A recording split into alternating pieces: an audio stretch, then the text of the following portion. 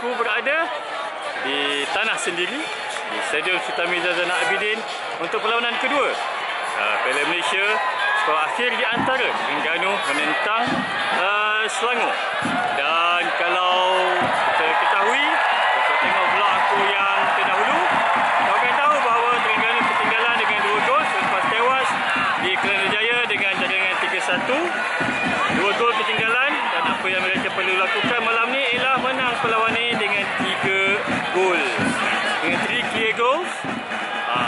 kalau menang 3-0 4-1 4-2 apa saja ha, itu akan menyaksikan mereka layak ke perlawanan akhir buat kali kedua musim ini. Sempat pada FA uh, menentang JDT baru-baru ni. So itulah apa yang perlu dilakukan oleh anak-anak buah Nafuzizin adakah mereka akan berupaya melakukannya? Semua penonton uh, semua penyokong Terengganu yang berada di sini lebih kurang dalam 26,000 kalau tak salah aku uh, penyokong Terengganu yang memenuhi uh, tempat duduk penonton malam ni semuanya berharap ianya akan terjadi. Tapi bukanlah sesuatu yang mudah kerana di bawah Tan Cheng Ho kita tahu Selangor berjaya mempamerkan permainan yang terbaik.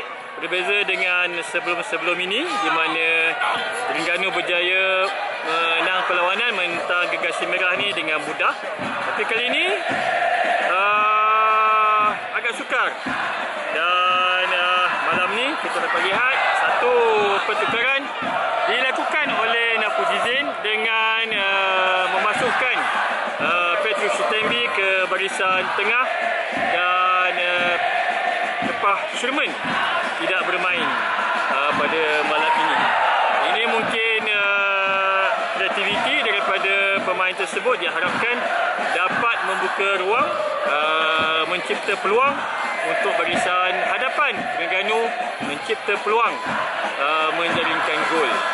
Dan itulah itu yang diharapkan dan kalau uh, aggregate sama, jika sama ke, sama ke pada malam ni, uh, ianya akan berlanjutan ke masa tambahan dan kalau masih seri juga sepatkan penalti.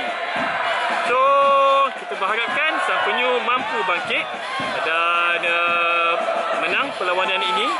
Uh, Rahadi Azli akan memulakan perlawanan. Diharapkan beliau mampu untuk uh, membuat clean sheet. Dan aku nampak di sana, kalau tak salah aku, Sermiza. Uh, sebagai penjaga persimpanan, tiada kelibat Suhaimi Hussein malam ni. Mungkin beliau mengalami sedikit kecederaan ataupun uh, tactical issue uh, by Nafuzi. Aku pun tak sure jugalah. Tapi berharapkan uh, Barisan Pertahanan Terengganu mampu untuk um, merakamkan clean sheet. So kau dapat dengar di sekitarnya Terengganu, penyokong Terengganu sudah mula uh, bersuara, menyorak, memberi semangat kepada para pemain. Selepas uh, tadi kita dengar para penyokong Selangor yang melakukan perkara sedemikian. Dan kalau ikutkan memang 26,000 kapasiti lah uh, untuk uh, penyokong-penyokong Terengganu malam ini. Dan kita lihat ajian Selangor memang ruang untuk uh, memastikan keselamatan uh, dalam perlawanan ini akan dapat dijaga. So, kalau tahu perlawanan uh, sebagaimana yang kita ketahui uh, semalam sudah pun bermula Piala Dunia uh, Qatar 2022 dengan perlawanan pembukaan di antara uh, Qatar menentang Ecuador dan buat pertama kalinya dalam sejarah World Cup dan sejarah Piala Dunia kekalahan uh, dialami oleh uh, pasukan tuan rumah dalam perlawanan pembukaan.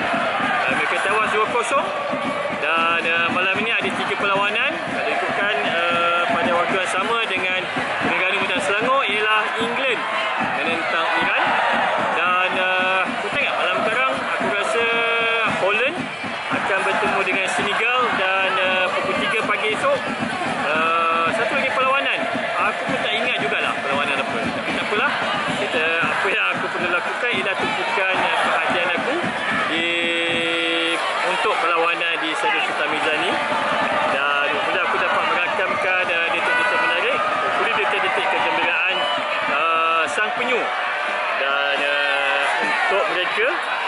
menyatakan diri bertemu dengan Johor Darul Takzim yang sudah pun menempah tiket ke final. Bila mereka berjaya menewaskan Sabah 3-1 di Johor semalam uh, dengan agregat 4-1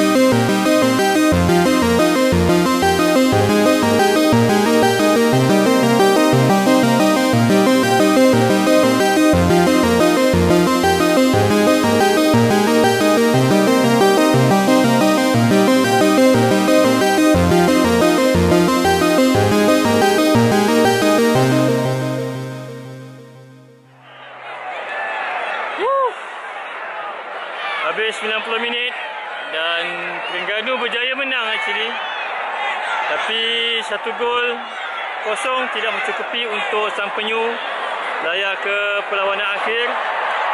Menyaksikan Selangor uh, mara untuk bertemu dengan Johor Darul Takzim. Memang uh, Ah, kecewa lah kan tapi dengan tiada semangat kesekanan daripada Selangor membazir masa dengan lakonan-lakonan mereka memang mengecewakan lah dan mungkin Terengganu hilang ketajaman di depan gol aku rasa mungkin sedikit sebanyak pergolakan dalaman memainkan peranan jugalah dalam kegagalan untuk mara ke peringkat akhir ini.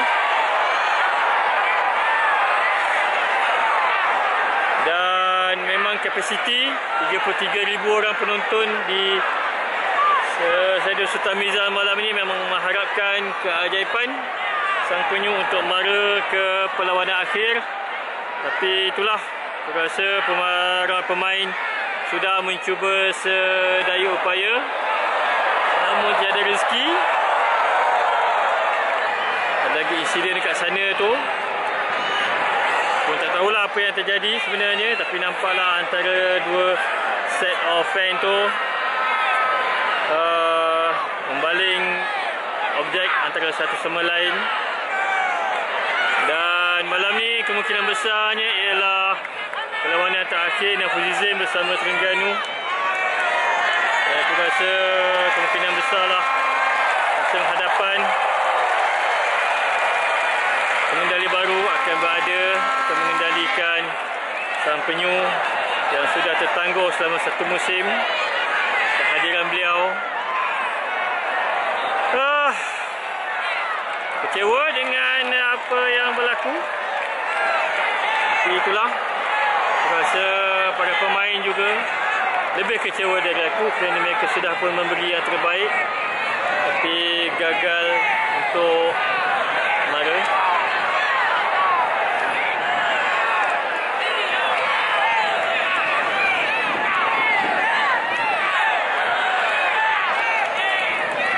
Ah, nak cakap apa lagi aku pun tak tahu. So, okay lah. Aku sign off dulu dari saya Sultan Mizan dengan rasa kecewa. Semula.